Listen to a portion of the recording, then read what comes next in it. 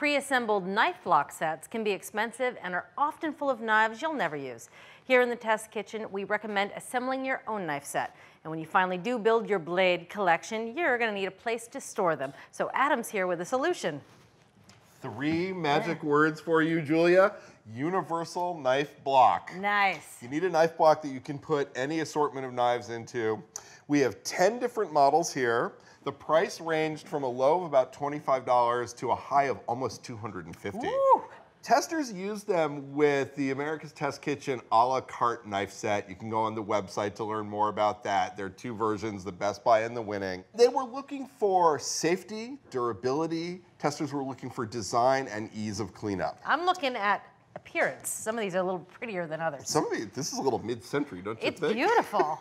this is one of the first group, which is in front of us. These four held the knives in place either by bristles, like this guy and the one next to it, or by folds of plastic, like that, or by an open grid system, like this. Remember I said testers were looking for durability? Mm -hmm. Not so much on this group. These bristles tended to shed or get bent. The folds of plastic in here got all nicked up and cut up through the course of testing. And this guy, the mid-century sculptor, got all chipped during the course of testing. Also, you can see that there was a safety issue with some of these guys.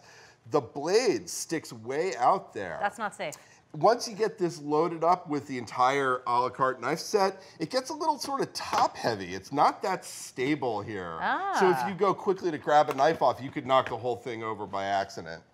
Testers were much more impressed with knife blocks that had wider bases with a non-slip material on the bottom so they wouldn't fall over. Let's walk down here and talk about our second set. These all hold the knives in place by magnets. You want the magnets to be strong enough to hold the knives in place securely, but not so strong that you have to struggle to take a knife off the block. Good point. Try that one. All right. Give that a shot. Just take Goodness. One, one hand, Julia. Goodness. that needed a little bit of muscle. So. Exactly. I mean, you need a real tug. That's like pulling the sword out of the stone. and you don't want to always have to use two hands. This one, on the other hand, try that one. I'm going to do it one-handed. Ah. There you go. So the Very knives easy. are secure, but they were easy to get off. This one also had great magnet coverage. That meant that you could put a knife anywhere on it and it would stick there with no problem. You didn't have to go searching around for sort of a magnetic hotspot. This, in fact, was our winning universal knife block. This is the Design Trifecta 360. It's on a little lazy Ooh, Susan like base. that. It spins around, so it's easy to get knives from any piece of it. It's got great coverage in terms of the magnets. They're the perfect strength. It was durable. It was easy to clean. It's heavy. It weighs 14 pounds, so it's not going anywhere. This was, however, the most expensive block in the test, $248.64. But it'll look good on your counter. It looks great. It's the last universal knife block you'll ever have to buy, we think. If you don't want to spend that much money, there's a best buy. This one is the Schmidt Brothers Midtown knife block. A lot more reasonable at $68.